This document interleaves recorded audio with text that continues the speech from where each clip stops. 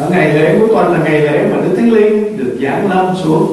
Như lời của chúa đã hứa với chúng ta, như anh em trên chúng ta đã đọc, nếu các ngươi yêu mến ta thì hãy gìn giữ các điều răn ta. Ta lại sẽ nài xin cha. Ngài ban cho các ngươi một đấng yên ủi khác để ở với các ngươi đời đời. Đây là lời mà Đức Chúa Giêsu nói Chúa Giêsu nói, ta sẽ xin cha để ban cho các ngươi một đấng yên ủi khác. Tức là có một đấng yên ủi Chúa Giêsu ngài cũng là đấng yên ủi khi ngài ở với các môn đồ. Nhưng mà ngài không ở mãi mãi, ngài phải về trời. Cho nên ngài nói với các môn đồ là, ngài sẽ, ngài xin cha ban cho các ngươi một đấng yên ủi khác để ở với các ngươi đời đời. Tức là từ thánh linh đang ở với chúng ta đời đời có nghĩa là từ đời này qua đến đời kia cho đến khi công tác của Đức Thánh Linh được hoàn tất ở trên đất này. Mà công tác của Đức Thánh Linh được hoàn tất ở trên đất này khi nào? Khi hội thánh của Chúa được đem ra khỏi cái thế giới này. Hôm nay chúng ta sẽ suy gẫm về công việc của Đức Thánh Linh, công việc của Đức Thánh Linh. À, trong kinh thánh tôi muốn anh chị em chúng ta xem những câu ở trong sách Giăng đoạn 16 câu 8 phần 16 câu 8 thì cho chúng ta biết. Như vậy, trước câu 7 thì nói dầu ta vậy. Dầu vậy, ta nói thật cùng các ngươi. Ta đi, tức là chính Chúa Giêsu nói, là ích lợi cho các ngươi. Vì nếu ta không đi, đấng yên ủi sẽ không đến cùng các ngươi đâu xong nếu ta đi, thì ta sẽ sai ngài đến.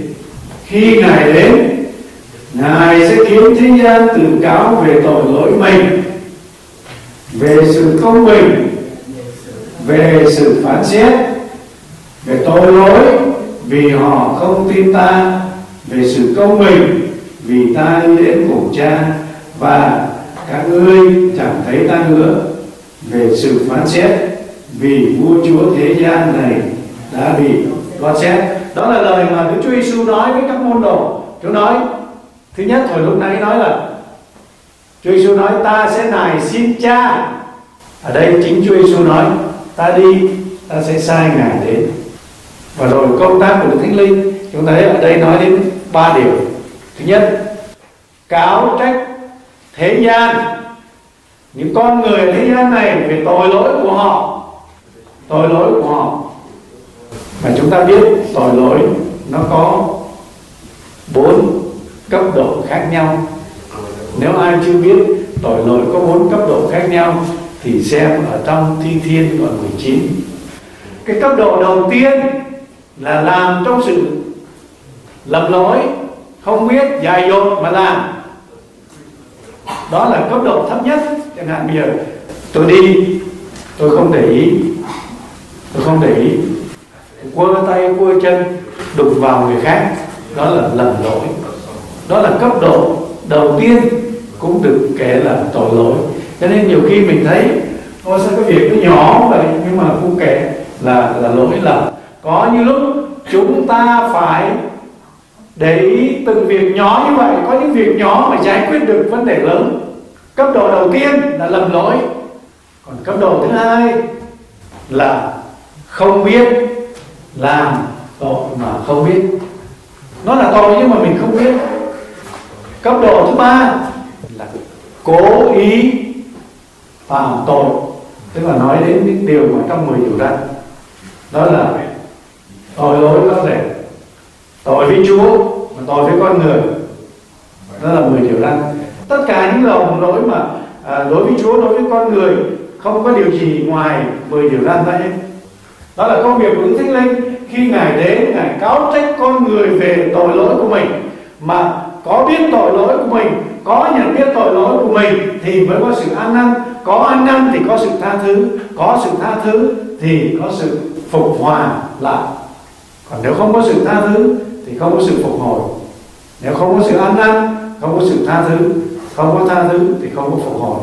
Nó đi từng bước một. An năn tha thứ và phục hồi. Đối với Chúa như vậy, đối với con người, với nhau cũng thế thôi. Không các anh chị em, anh em chị em chúng ta thấy đó là công việc của Đức Linh, công việc thứ hai mà Đức Thánh Linh nói là Ngài sẽ bày tỏ sự công bình vì Đức Chúa Giêsu đi về cùng Cha. Nếu mà chúng ta đọc đến đây, chúng ta không thấy bộ sách kỳ cục Đức Chúa Giêsu đi về cùng Cha mà bày tỏ sự công bình của Đức Chúa Trời. Vì sao? Vì Đức Chúa Giêsu đã hoàn tất công việc của Ngài ở giữa thế gian này để đem sự công bình vào thế giới này cho những con người nhận biết Chúa thuộc về Đức Chúa Trời. Đó là công việc. Ngài hoàn tất công việc của Ngài, đem sự công bình đến trên thế giới này. Tại sao? Tại vì tội lỗi của con người đã được trả bằng sự chết của Chúa. Đó là sự công bình mà Đức Chúa Trời đã được giải quyết. Ngài đến để làm sự công bình trên đất. Đó là như vậy. Chúa làm xong công việc của Ngài. Ngài đi về trời đó là công việc của Đức Thánh Linh. Nói về sự công bình mà Đức Chúa Trời đã ban đến cho con người qua Chúa Giêsu qua sự chết mà Chúa đã hoàn tất để đem sự công bình. Tội của tôi lãnh một bản án là sự chết. Chúng ta thấy công bình, khi mà nói đến công bình, công lý đó, người ta dùng cái hình ảnh, cái cân. Thấy không? Cái cân có hai bên. Tội tôi bỏ lên một bên. Bản án của nó là sự chết bên kia là sự chết của Chúa. Thì là công bình, trả giá. Chúa trả giá cho chúng ta. Đó là lý do mà cái đoạn kinh thánh này, Đức Thánh đến, thứ nhất, nói cho con người biết về tội lỗi của họ. Mà họ ăn năn, thì họ sẽ nhận biết sự công bình của Đức Chúa Trời trong cuộc đời của họ. Và khi biết sự công bình rồi, thì cuối cùng của mọi sự việc là đi đến sự phán xét sự phán xét của con người thuộc về Chúa và sự phán xét của con người không thuộc về Chúa. Đó là câu chuyện đó là công việc của Đức Thánh Linh. Anh em chị em chúng ta đã suy gẫm câu chuyện của uh, Luther tuần trước lần trước. Tuần trước chúng ta thấy trong câu chuyện của Luther đó chúng ta để ý này như tôi chia sẻ với anh em chị em Naomi là hình ảnh của Đức Thánh Linh để đem con người đến sự phục hồi toàn vẹn. Tôi chỉ nói đến đến hình của Thánh Linh thôi thì chưa nói đến cái sự phục hồi toàn vẹn nhiều lần trước. Mà chúng ta để ý đây là cái bước tiến Đức Thánh Linh là cũng giống như cái công tác mà Naomi đã làm đối với hai người con dâu. Chúng ta để ý trong cái câu chuyện đó thì em chị em nếu ai muốn lật lại trong sách Luther nếu ai chưa biết sách Luther ở đâu đó, thì nó là năm sách đầu rồi tới sách các quan xét rồi tới sách Luther sáng thế ký suốt đây chúng tôi ký lên đi ký, dân số ký, phục truyền vào lệ ký. Rồi các quan xét rồi tới sách Joshua các quan xét rồi đến sách Luther tôi muốn anh em chị em cùng xem lại với tôi mấy câu kinh thánh ở trong cái sách đó để chúng ta thấy được.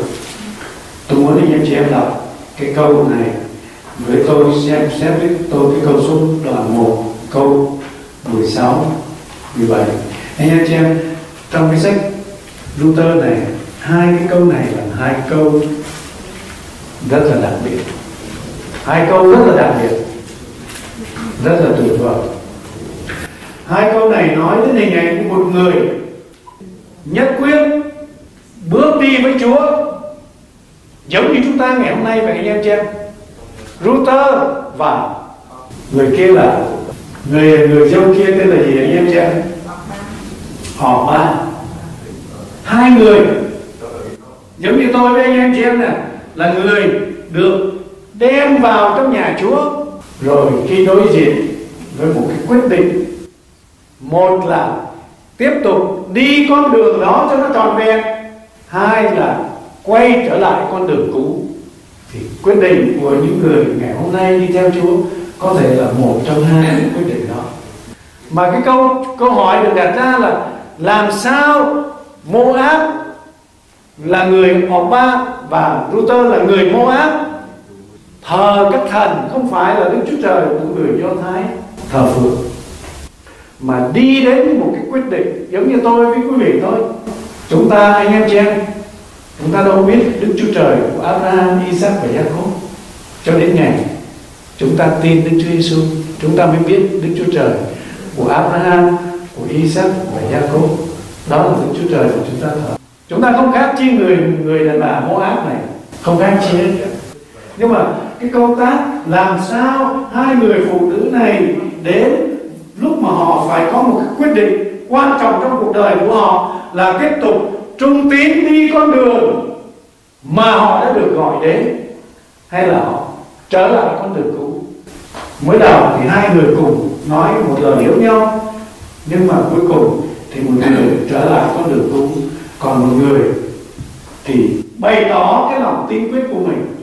Anh em anh em chị em chúng ta cũng vậy trong cuộc đời không khác chi. Và những lúc chúng ta gặp sự khó khăn và những lúc chúng ta gặp à, uh, hoạn nạn này nọ nếu mà chúng ta không có lời Chúa, nếu mà chúng ta không hiểu biết Chúa, nếu chúng ta không kinh nghiệm Chúa một cách sâu sắc, thì chúng ta cũng có thể nói cái lời giống như Naomi nói với hai đứa con. Đấng toàn năng đã đãi tôi như thế này. Phải không? Nói theo nói theo con người, nói theo sự hiểu hiểu biết của xác thịt. Nên anh em chị em ơi, trong lúc bình an, đó là cơ hội của chúng ta học hỏi lời Chúa, đó là cơ hội chúng ta khao khát tìm kiếm kinh nghiệm Chúa. Tại vì sự khó khăn trong cuộc đời chúng ta không mong, chúng ta không đợi, chúng ta không cầu xin, nó vẫn tìm đến với chúng ta. Tại sao? Tại vì cái thế giới chúng ta sống là cái thế giới đã bị lúa xá rồi. Và ngày hôm nay cái thù nghịch linh hồn của mình là Satan ma quỷ nó vẫn còn được tự do, cám dỗ và thử thách chúng ta cho nên đó là công tác của nó. Phần của chúng ta có lời Chúa, có Chúa, có sự trang bị của Chúa để giúp mình một đời sống đắc thắng. Cho nên mình phải chuẩn bị, mình phải có lời của Chúa. Giống như vũ khí vậy đó phải có vũ khí, phải tập luyện. Có người có vũ khí mà không tập bắn. Bây giờ nhắm hoài bắn không trúng phải không? Cho nên phải tập luyện. Cái điều mà, cái gì Chúa đặt trong tay chúng ta, phải sử dụng nó phải không? Phải sử dụng nó hàng ngày. Nhân danh Đức Chúa Giêsu phải sử dụng hàng ngày trong những công việc cần có. Rồi đất đức tin mà chúng ta có, rồi tìm kiếm sự đầy dạy đức thánh linh phải có trong cuộc đời của mình. Để đến khi những sự đến bất thình lình, chúng ta đứng vững. Và chúng ta xem đây, khi mà cái người phụ nữ này, Luther quyết định nhất quyết không lìa bỏ không trở lại con đường cũ thì đây là lời mà bà ấy nói. Ruta thưa rằng, xin chớ nài tôi phân thế mẹ, vì mẹ đi đâu, tôi sẽ đi đó, mẹ ở nơi nào, tôi sẽ ở nơi đó. Dân sự của mẹ là dân sự của tôi, đức chúa trời của mẹ là đức chúa trời của tôi.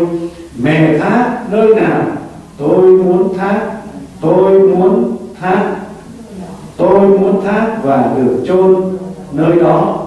Ví bằng có sự chi khác hơn, sự chết phân cách tôi với mẹ, nguyện được gieo va giáng hỏa cho tôi. Naomi thấy là quyết định theo mình, nên không nói nữa. Anh em cho em, đây là một cái lời rất là tuyệt vời. Chúng ta không tìm thấy một cái chỗ nào trong kinh thánh một người nói đến cái quyết định trong cuộc đời của họ, quyết đi theo Chúa. Và đây là một người dân ngoài, không phải là người do thái. Là người không không được chọn vào tổ phụ của họ, không được chọn vào làm dân tộc cho Chúa. Nhưng mà ngày hôm nay, họ trở thành dân Chúa, giống như chúng ta vậy thôi. Chúng ta không phải là dân do thái. Chúng ta là dân ngoài.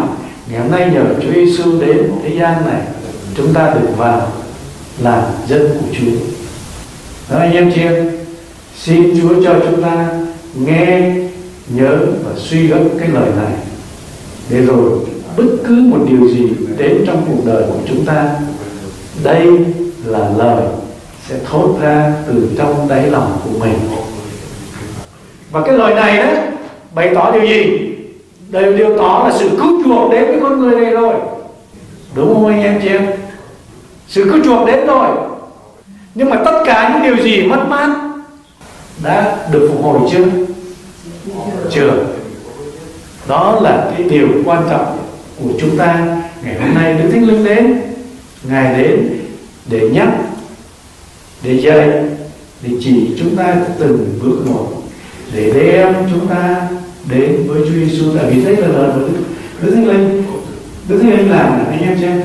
Tôi muốn đọc cho anh em xem một câu nữa ở trong sách danh chúng ta thấy công tác của Đức Thánh Linh, không phải Đức Thánh Linh làm vinh quang mình, mà Đức Thánh là vinh quang Chúa Giêsu chúng ta xem trong danh đoạn 16 câu 12 câu bên dưới, cái câu này lúc nãy chúng ta đọc ta còn có nhiều chuyện để nói với các ngươi nữa, nhưng bây giờ những điều đó quá sức, cao, quá sức các ngươi lúc nào thần lẽ thật sẽ đến, thì ngài sẽ dẫn các ngươi vào mọi lẽ thật. Đó là công tác của đức thánh linh. Có những điều chúng ta không biết phải làm cái gì trong bước đường chúng ta đi theo chúa, đúng không anh em chị em? Đúng không? Có những điều chúng ta không biết. Nhưng mà nếu chúng ta trông cậy và tìm kiếm đức thánh linh, công tác của ngài là bày tỏ cho mình, dẫn dắt mình. Mà nếu những điều chúng ta đã học mà chúng ta quen rồi, thì công tác của ngài là nhắc nhở mình dạy dỗ mình, nhắc nhở mình, dắt chúng ta vào mọi lẽ thật, tức là mọi con đường để đem chúng ta đến với Chúa Giêsu, đến với sự phục hồi một cách trọn vẹn. Anh em xem để ý biết câu bên dưới nữa. Vì ngài không tự mình nói, nhưng nói mọi điều đã nghe và bày tỏ cho các ngươi những điều sẽ đến. Ấy chính ngài sẽ làm sáng danh ta, tức là đây là lời Chúa Giêsu nói, ấy chính Đức Chúa Thánh Linh sẽ làm sáng danh Đức Chúa Giêsu sẽ tôn cao Đức Chúa Giêsu dắt chúng ta đến để chúng ta biết Chúa Giêsu ờ, công tác của Đức Thánh Linh là như vậy. Chứ không phải công tác của Đức Thánh Linh là đem mình đến với Đức Thánh Linh, bỏ quên Đức Chúa Giêsu không phải như vậy. Mặc dầu Đức Thánh Linh là đấng an ủi ở với chúng ta đời đời, nhưng mà công tác của ngài là đem chúng ta đến với Chúa Giêsu tại vì trong Chúa Giêsu có sự phục hồi để chúng ta được hưởng phần cơ nghiệp mà Đức Chúa Trời sắm sẵn cho chúng ta. Cơ nghiệp tức là tài sản mà Adam Eva đã đánh mất. Trong Chúa Giêsu chúng ta sẽ được hưởng cơ nghiệp đó trở lại. Chúng ta thấy câu chuyện của Luther với Naomi không đó, ở đây người nữ này công bố cái lời tôi nhất quyết đi theo Chúa tôi vẫn cứ đi theo mẹ, tức là theo chân sự của Chúa. Không lìa bỏ, bày tỏ sự cứu rỗi là chắc chắn. Nhưng mà tất cả những gì mất mát của con người này chưa được phục hồi. Cho đến khi chúng ta thấy Luther đi theo từng bước dẫn dắt một của người mẹ của mình là Naomi. Cho nên bà là hình hình bóng của đức của đức thánh linh đó cho nên anh em chị em Đức Thánh Linh đến để dẫn dẫn chúng ta đến với Chúa Giêsu để chi? Để phục hồi lại tất cả những gì mà Adam và Eva đã đánh mất. Chúng ta sẽ kinh nghiệm một phần ngay trong cuộc đời này. Và rồi khi Chúa Giêsu trở lại, sự kinh nghiệm đó sẽ được trọn vẹn. Nhưng mà bắt đầu từ bây giờ, bắt đầu từ ngay bây giờ, bắt đầu từ ngay bây giờ. Trong Galatia đoạn 5 số 5 thì cho chúng ta thấy hình ảnh nếu mà chúng ta đã đi theo Chúa, chúng ta đã có quyết định giống như Luther nói là, tôi chỉ đi theo Chúa thôi. Thì đây là điều mà lời kinh thánh nhắc nhở anh em chị em chúng ta. Về phần chúng ta Galati đoạn 5 câu năm. ấy là bởi đức tin và nhờ đức thánh linh mà chúng ta được lãnh sự trông cậy của sự công bình đó là lời hứa của Chúa lấy sự trông cậy nhờ đức thánh linh nếu không có Naomi chỉ dẫn thì Router không biết cách nào để mà làm để mà phục hồi lại cơ nghiệp mà đã mất. Thế nên công tác của Naomi như tôi nói lần trước ấy, là công tác là một người mẹ chồng nhưng mà thực sự giống như công tác của được hướng dẫn cái người này để phục hồi lại tất cả những gì cơ nghiệp đã đánh mất. Anh em xem, chúng ta, cơ nghiệp của chúng ta mất nhiều lắm. Sự sống đời đời đã đánh mất khi Adam phạm tội. Rồi cái thế giới, môi trường chúng ta sống cũng bị bại hoại. Rồi nghèo đói đến, bệnh tật đến, chiến tranh đến rồi sự chết đến tất cả những điều đó là cơ nghiệp là Đức Chúa Trời ban cho con người. Mất hết mất hết chỉ có trong Chúa Giêsu mới được phục hồi lại.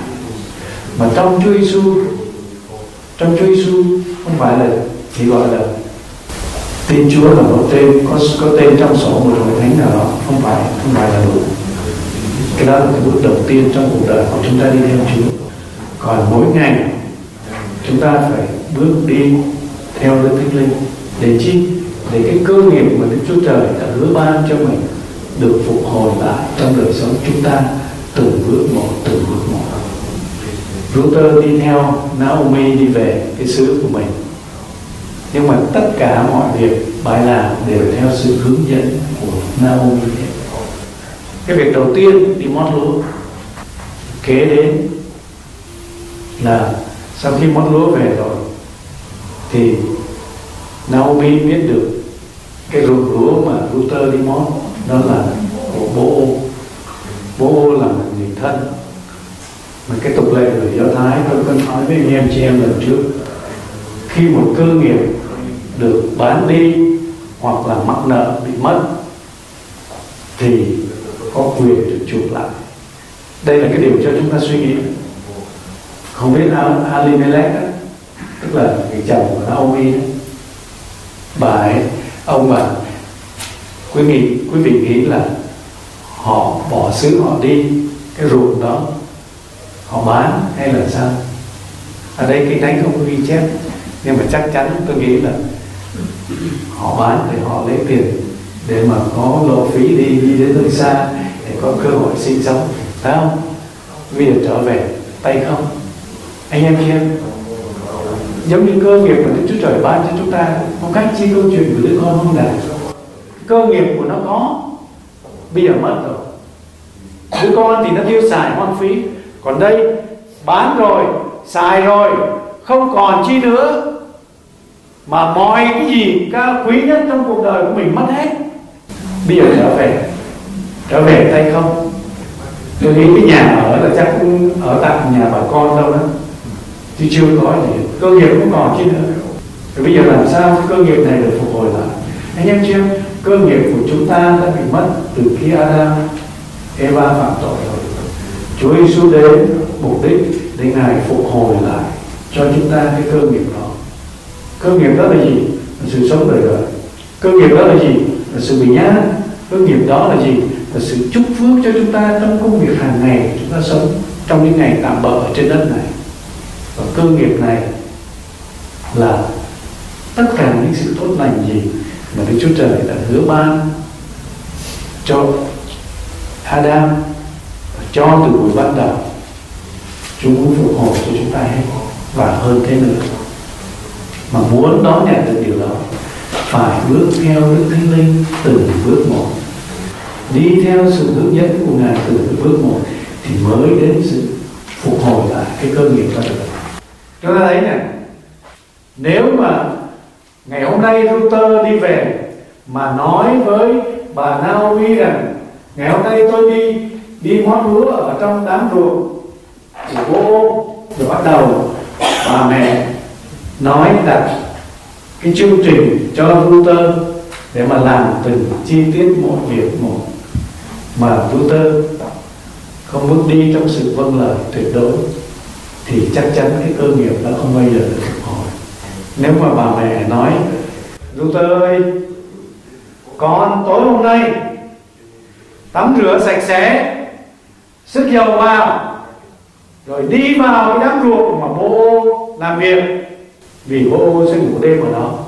Rồi đi đến, không có để ý, không có để cho ai thấy hết.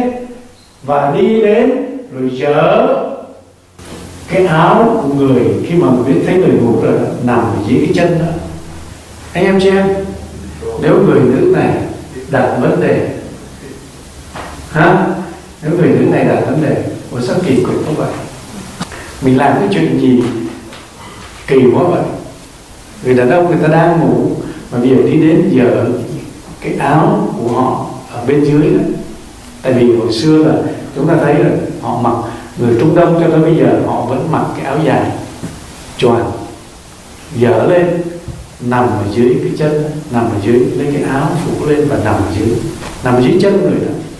Anh em xem, nếu mà người đời nhìn vào thì thấy và chắc cái cô này đi chắc tìm cách dụ, đánh bẫy ông này phải không? Chúng nếu mà chúng ta đọc câu chuyện đó, bố là người lớn tuổi, ít nhất cũng phải hơn router mười mấy, hai mươi tuổi. Ít nhất. Tại vì bố trong cái lớn tuổi với Alimelech là người mà con. Anh em chị em, chúng ta để ý, nếu mà đó là cái công việc mà cái dấu hỏi mà router đặt, Đức Thánh Linh cũng vậy. Anh em chị em có những công việc, Đức Thánh Linh nhắc nhở mình trong cuộc đời của mình là mình không muốn làm mà nó kỳ cục nữa. Không biết có đúng không? Không biết có thiệt không? Không biết có phải vậy không? Nếu anh em chị em, nếu mà chúng ta có lời Chúa, thì chúng ta biết tiếng của Chúa khi Ngài phán với chúng ta.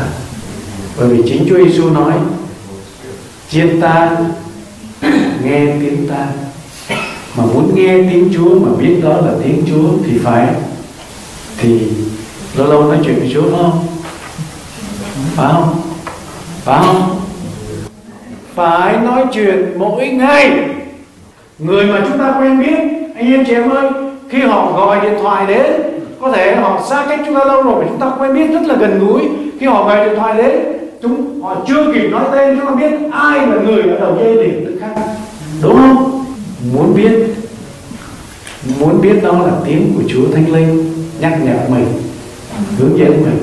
Thì chúng ta phải có sự gần gũi với Đức Thánh Linh. Không cách nào khác hơn hết, anh em chị ạ không cách nào khác hơn hết con người với loài vật cũng thế. Nếu mà con vật của chúng ta ở gần nó, chúng ta về, nó nghe tiếng, nó mừng còn nếu chúng ta là người lạ, thì nó sẽ sửa chúng ta. Thấy không? Loài vật với con người thôi. Chúa tạo cho chúng ta và loài vật có những cái đặc biệt như vậy để biết cái sự gần gũi với nhau. Huống hồ chi, Đức Chúa Trời, chúng ta ngài muốn chúng ta gần gũi và Đức Thánh Linh là đấng mà Chúa đã để ở với chúng ta, để dẫn dắt mình, để đem chúng ta đến sự phục hồi cơ nghiệp. Ở trong dân ở trong Galati đoạn năm, câu năm đó, tôi mới đọc cho anh em xem. Nhờ Đức Thánh Linh mà chúng ta được nhận lấy sự trong cậy, tức là được phục hồi cơ nghiệp mà Đức Chúa Trời hứa ban cho chúng ta. Cơ nghiệp đó, chúng ta sẽ được kinh nghiệm ngay trong đời này. Không phải đợi về thiên đàng mới được. Kinh nghiệm, anh em chưa một phần chúng ta sẽ được kinh nghiệm trong đời này và phần còn lại đời đời chúng ta sẽ được kinh nghiệm khi Chúa Giêsu trở lại. Trong đời này, Chúa muốn chúng ta kinh nghiệm cái cơ nghiệp mà Ngài đã dành cho chúng ta. Cho nên, hãy tạo cái sự gần gũi với Đức Thánh Linh mỗi ngày. Nói chuyện với Đức Thánh Linh. Không phải là, không phải cầu nguyện như này, nói Đức Thánh Linh ơi, dẫn con đến thế này. Không, nói Đức Thánh Linh ơi, dẫn con đến với Chúa Giêsu để con biết Chúa Giêsu tại vì công tác của Đức Thánh Linh là là tôn cao Chúa Giêsu nhớ không? Công tác của Đức Thánh Linh là tôn cao Chúa Giêsu công tác, chúng ta thấy công tác của Naomi là gì? Dắt Ruther đến người có thể chuộc được cơ nghiệp mà mình đã mất. Đó là công tác của Đức Thánh Linh. Nên anh em chị em, hãy để ý. Chúng ta đọc tôi muốn quý vị đọc thật kỹ câu chuyện đó để thấy từng bước một mà Naomi dạy dỗ Luther có những điều nó rất là, nếu mà rất là kỳ quặc nếu mà chúng ta nhìn theo con mắt của loài người người thấy không? Nhưng mà Luther vâng lời một cách tuyệt đối. Không có đặt một câu hỏi nào hết. Vâng lời một cách tuyệt đối. Chúng ta thấy bà không có nói lỡ người ta thế này thế kia thì sao? Lỡ bố ô không bằng lòng thì sao? Không bằng lòng tức là chuộc lại cái cơ nghiệp thì sao? Không, anh em chị cái hình ảnh vâng lời này cho chúng ta thấy. Chúa muốn anh em chị em chúng ta đi theo Chúa cũng giống như vậy. Còn một điều đặc biệt, nếu Ruther không đi theo bố Naomi đi về, thì tất cả những gì mà chúng ta mất không bao giờ có cơ hội chuộc lại được. Cho nên phải đi theo mà Naomi không thể nào chuộc được vì cơ nghiệp không còn, tiền bạc không còn không còn cái gì để mà chuộc được nữa. Chỉ có Luther qua con người đi theo Chúa này mới có sự chuộc lại cơ nghiệp mà thôi. Nếu Luther không đi, không còn cơ nghiệp thì mất. Cho nên phải đi theo Chúa. Cái ngày của Luther là gì? Thì ngày phải đi theo Chúa, phải quyết đi theo Chúa, phải bền vững ở trong Chúa. Thì những cái gì mà Adam đã đánh mất sẽ được chuộc lại và hơn thế nữa cho chúng ta. Rồi chúng ta để ý, phải ở trong nhân sự của Chúa nữa nha.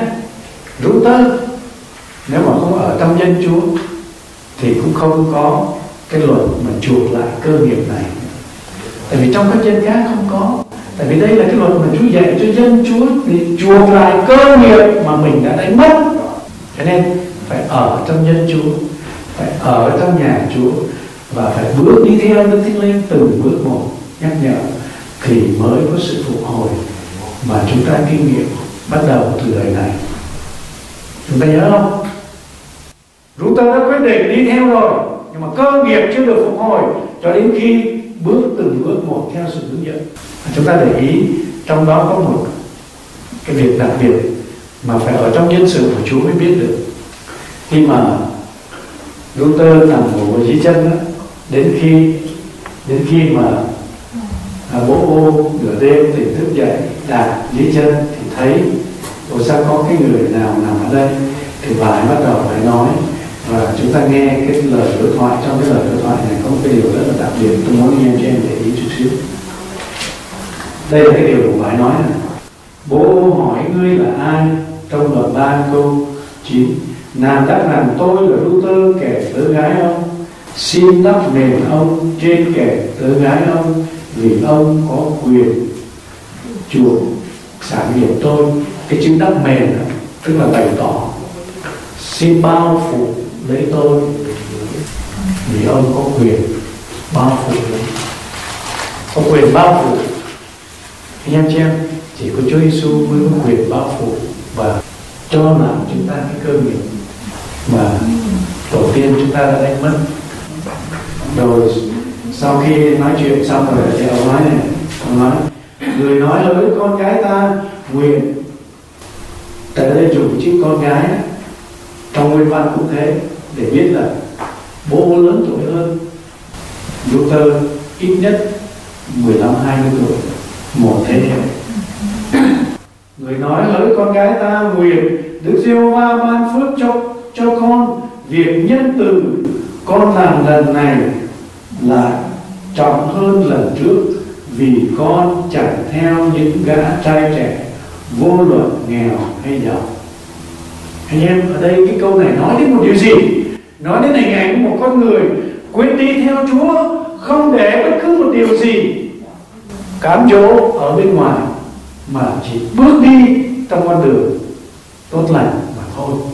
Bởi vậy, khi mà khi mà Luther đi về nói với Naomi là đi đi móc lúa ở trong cái vườn, cái cái cái ruộng của bố ô thì bà nói là, đừng đi nơi nào hết.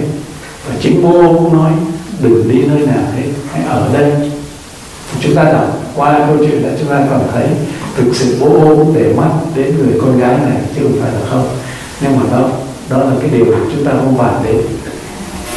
Nếu chúng ta muốn bàn đến, thì giống như Chúa để mắt đến chúng ta đâu thấy không? Chúa để mắt đến chúng ta. Chúa yêu chúng ta. Chúa thương chúng ta. Và Chúa muốn chúng ta thuộc về Ngài. Nhưng mà một điều rất là đặc biệt. Bố không làm chi được cho đến khi theo luật lệ của Chúa là cái người gần hơn hết chối từ thì bố ô mới lãnh được cái quyền chuộc sản nghiệp anh em chị em rồi, có một câu nữa ở đây mà tôi muốn anh em chị em để ý này. Bố nói rằng, chớ cho người ta biết rằng có một người nữ nào vào sân đạp lúa. Câu 15 người nói, hãy dơ áo tơi của nàng mặc, rồi nắm nó cho chắc, nàng bèn dơ ra, người trút sáu đấu lúa mạch, biểu nàng đem đi, đoàn người trở vào thành. Đó nếu mà chúng ta đọc đến cái chỗ này, sáu đấu lúa, có cái gì đặc biệt ở đây? Nếu không ở trong dân sự của Chúa, thì không biết được cái ý nghĩa của cái điều này nếu không ở trong dân do thái của Chúa, thì không thể nào biết được ý nghĩa của sáu cái đống lúa này như thế nào. Chúng ta đọc xuống dưới, chúng ta thấy Naomi giải thích về sáu cái đống lúa này như thế nào. Naomi giải thích này Ruther trở về nhà và gia mình hỏi có phải con gái ta chăng? Ruther thuật lại cho người mọi điều bố đã làm cho mình. Rồi tiếp, người có cho tôi sáu đấu lúa mạch này mà rằng nàng chớ trở về nhà gia và gia tay không? Anh em chứ Luther đâu cần phải nói ông cho tôi sáu đấu lúa nói, nói mẹ ơi ông cho nhiều lắm đúng rồi phải không? Nhưng mà thật là y chang sáu đấu lúa sáu đấu lúa này có nghĩa gì? Anh em chúng ta thấy đây là điều mà Naomi nói. Naomi nói rằng hỡi con gái ta hãy ở đây để đợi xem cho biết công việc xoay thế nào vì nếu ngày nay việc này chưa rồi, người sẽ chẳng nghỉ đâu. Tức là, sáu đống lúa này nói đến một điều gì? Không nghỉ ngơi cho đến khi hoàn tất công việc, chuộc lại cơ nghiệp cho Luther Chúa sẽ không ngừng nghỉ cho đến khi nào Ngài dắt chúng ta đến sự chuộc lại cơ nghiệp mà Adam đã làm mất. Bởi vì trong 6 ngày đó, sáu đó thì tượng trưng cho 6 ngày. 6 ngày làm việc, không có nghỉ ngơi được. Sáu đó đó là cái ý nghĩa chỉ có tâm nhân do thái mới hiểu được. Và chỉ có người mẹ do thái mới hiểu được cái điều đó. Nên phải giải thích nó con ơi, yên trí đi. Bố ô sẽ không nghỉ ngơi cho đến khi công việc này được hoàn tất. Tức là làm việc trong 6 ngày. Đó là ngày làm việc và chúng ta thấy mọi việc đã xảy đến. Cho nên, anh em chị em bước theo Đức Thánh Linh là điều rất là quan trọng cho chúng ta trong đời sống của người đi theo Chúa. Đức Thánh Linh đến để ở với chúng ta đời đời. Không những vậy, một chỗ khác trong sách gian còn nói là, Ngài ở trong chúng ta và Ngài ở giữa chúng ta. Ở với chúng ta là ở giữa chúng ta. Ngài ở trong chúng ta. Đức Thánh Linh ở trong chúng ta này nếu mà Đức Thánh Linh ở trong chúng ta, thì hãy nhớ một điều. Không có một điều gì chúng ta phải sợ hết ở thế giới này. Amen. Không có nghĩa là chúng ta đi ra đường, chúng ta phóng qua ngã tư đèn xanh là tôi không nói điều đó. Sợ là sợ những điều không cần phải sợ. Vì tương lai chúng ta ở trong tay Chúa rồi. Ngay cả công an việc làm của chúng ta, anh em chị em, Chúa đã nói cái điều gì? Con chim sẻ không có làm cái chi hết mà Chúa còn sẵn sẵn thức ăn cho nó. Huống hồ chi chúng ta. Đừng sợ chi hết anh em chị em. Tại sao Chúa phải nói như vậy? Tại vì nó là cái bản tính của mình đó quý vị? Của tôi quý vị thôi. Lo lo lo lo lo, lo này. Chúa phục hồi lại cơ nghiệp cho chúng ta. Chúa phục hồi lại cơ nghiệp cho chúng ta. Nên hãy mà muốn được phục hồi thì phải được dắt đến cái đấng có thể phục hồi cơ nghiệp đó. Vô nhà Chúa chưa đủ, nhưng mà mỗi ngày, giống như Naomi đó, giống như Ruther công bố cái lời đó, tức là đi vào nhà Chúa, nhưng mà chưa đủ. Cơ nghiệp chưa được phục hồi, một cái hết.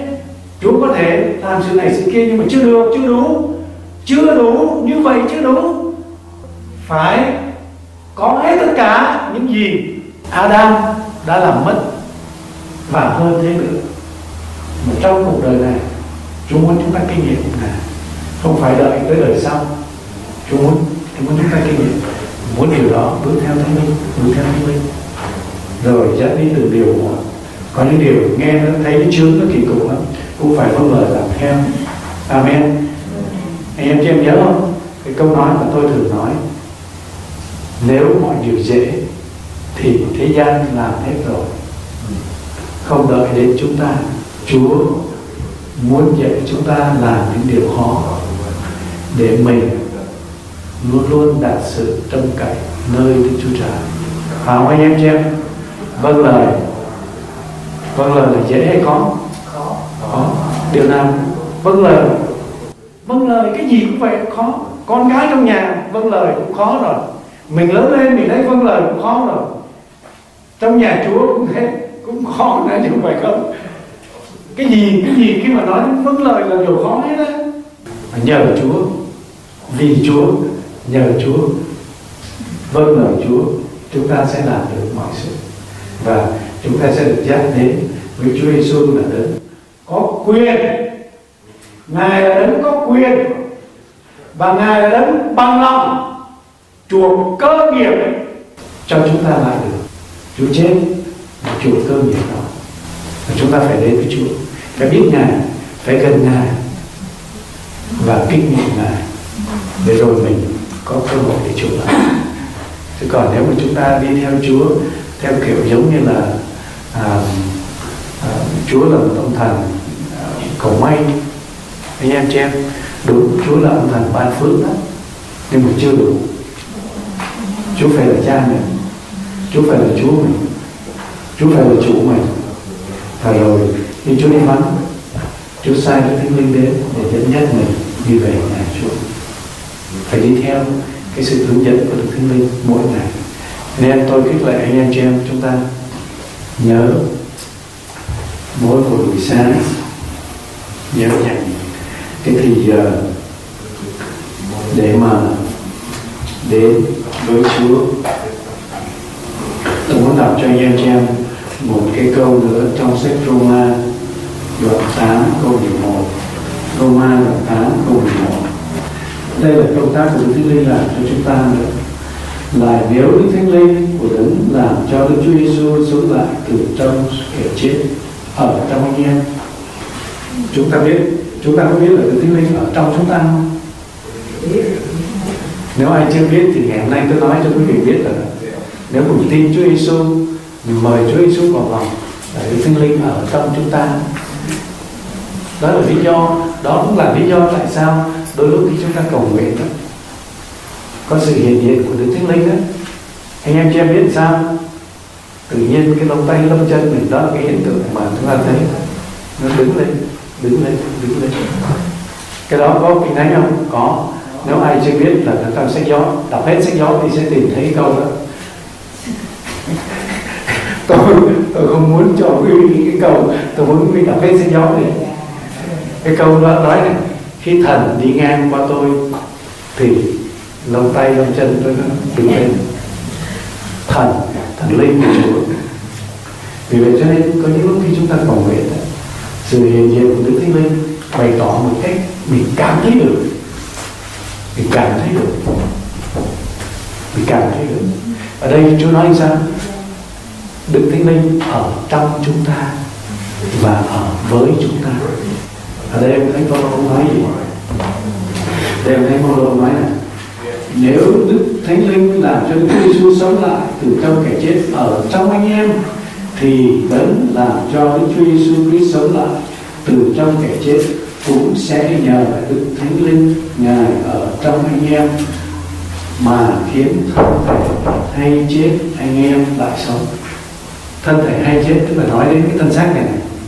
Đức Thánh Linh cái chữ lại sống đó, trong nguyên văn của nó có nghĩa là như thế này tôi muốn anh em chia hiểu cái ý nghĩa của nó.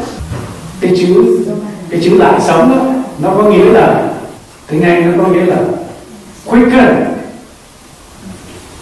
give life and make alive and restore to life. Đức Thánh Linh ở trong chúng ta sẽ làm cho thân thể này phục hồi lại anh em chị em, khi chúng ta mệt mỏi, một cái cách mau nhất mà làm cho chúng ta phục hồi lại không phải là nằm ngủ. Anh em chị em biết gì không? Ngồi xuống cầu nguyện bằng tiếng lạ tôi nói điều đó trong kinh nghiệm của tôi đó. Mà đây ông thánh Phaolô ông nói này thánh Phaolô nói ngày làm cho chúng ta làm sống, chứ không phải sống lại nha. Không không kinh thánh không dịch lộ chỗ này lại sống tức là phục hồi lại, restore restore quicken. Tức là cái chúng ta thấy cái hột giống không? Cái hột giống hột mà để khô rồi đó. Làm sao nó mọc mầm được? Đó nó phải được phục hồi lại. Nó phải được phục hồi lại. Nước phải đổ vô. Nước phải đổ vô. Nước phải đổ vô. Nước là cái gì? Nước là cái gì? Nước là gió. Nước là nước nước không phải là gió. Nước nước nước là lời của Chúa. Và sông nước là thánh linh của Đức Chúa Trời. Đổ vào có nước thì có sự phục hồi có sự tươi tỉnh lại. Cho nên nhiều khi chúng ta mệt mỏi chúng ta cứ đi tìm nghỉ nói oh, relax relax. Không hết đâu. Mau lắm ngồi xuống cầu nguyện. Nhất là người nào được Chúa ban cho cầu nguyện tiếng lạ cầu nguyện tiếng lạ càng mau hơn. Đây là lời Chúa nói, anh em chị em. Và thực sự tôi kinh nghiệm được. Tôi nói quý vị nghe này mỗi buổi sáng. Khi tôi dậy cái việc đầu tiên là cái thân thể này nó không muốn nhận. Và kế đến là cái việc kế theo là nó không muốn cho mình cầu nguyện. Đó là cái việc thứ hai, cái thân thể mình nó không muốn. Nó chỉ muốn đi bận rộn việc này việc kia nhưng mà khi tôi ngồi xuống tôi cầu nguyện, tôi hát, tôi thờ phượng, tôi cầu nguyện. Anh em chưa? Không có một lần nào tôi không cảm thấy cái sự tươi mới, cái sự phục hồi trong cái sức khỏe một cách rất là hấp dẫn đó là điều cái kinh nghiệm tôi có. Và đây là lời của Chúa nói, đấng mà đã khiến Đức Chúa Giêsu từ kẻ chết sống lại sẽ khiến thân thể chúng ta lại sống. Tức là khiến cho thân thể chúng ta được phục hồi, được tươi mới sự sống được đổ vào cho nó lại. Mà muốn được đổ vào thì chúng ta phải nói chuyện với Đức Thánh Linh. Chúng ta phải cầu nguyện. Chúng ta phải nói, xin Chúa Thánh Linh dẫn dắt mình đến với Chúa Giêsu để cho mình biết Chúa nhiều hơn mỗi ngày. Đó là điều mà tôi muốn anh em chị em chúng ta suy gẫm rồi. Nhớ, bố là hình ảnh của Chúa Giêsu nhưng mà bố không làm, chi hết nếu chúng ta không bước đi trong sự hướng dẫn của Đức Thánh Linh để đem đến. Giống như Naomi hướng dẫn nếu Luther không nghe, thì không bao giờ đi đến sự phục hồi. Bước vào nhà Chúa là bước bước đầu tiên, tức là giống như Luther công bố cái lời tuyên xưng đức tin kế đến phải bước theo sự hướng dẫn của Đức Thánh Linh từ bước một. Và nếu không, chúng ta sẽ không đón nhận được sự phục hồi của cơ nghiệp một cách trọn vẹn. Đó là điều mà tôi muốn để lại cho anh em chị em ngày hôm nay. Trong cơ hội khi chúng ta kỷ niệm được Thánh Linh, chúng ta nhớ đó là điều mà Chúa muốn cho chúng ta. Anh em chị em chúng ta cùng đứng lên. Ta đứng gọi Chúa, chúng ta cùng nguyện diện tiếng thánh nguyện chúng con cảm ơn Chúa cho chúng con cơ hội để được nhắc nhở đến công tác mà Cha đã ban đến cho chúng con qua Đức Thánh Linh để đem chúng con đến sự nhận biết về Chúa Giêsu để đời sống chúng con mỗi ngày kinh nghiệm sự phục hồi mà Chúa sẵn sàng cho chúng con. Chúng con cảm ơn Chúa để Chúa yêu dấu Thánh linh chúng con mời Ngài đến hà hơi trên của lễ này để khi chúng con nhận vậy, chúng con được hiểu thông với thân Chúa và biết Chúa. Chúng con cảm ơn Cha. Chúng con cầu nguyện. Chúa Giêsu Christ Hallelujah Hallelujah Hallelujah Hallelujah Hallelujah Hallelujah Amen Chúa ơi, chúng con cảm ơn Chúa vì lời Ngài hứa với chúng con là mọi phước lành tổ phụ đức tin chúng con là Abraham cũng sẽ đến với mỗi chúng con bởi đức tin chúng con đón nhận điều này, chúng con cảm ơn Chúa và chúng con dâng mọi sự trong tay yêu thương của Ngài để Chúa bao phủ và gìn giữ anh em chị em chúng con trong một tuần lễ mới trong công ăn, việc làm, trong mọi sự để chúng con bước đi theo sự hướng dẫn của Ngài luôn luôn chúng con cầu nguyện trong danh Chúa Giêsu Christ. Amen.